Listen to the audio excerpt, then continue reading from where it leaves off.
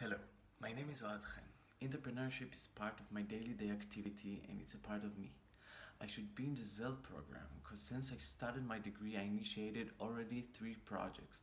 The last one of them called Yala, which is a non-profit organization for afternoon activity centers for autistic and special need kids. My creativity and my practical experience can help the program and the group that I will work with.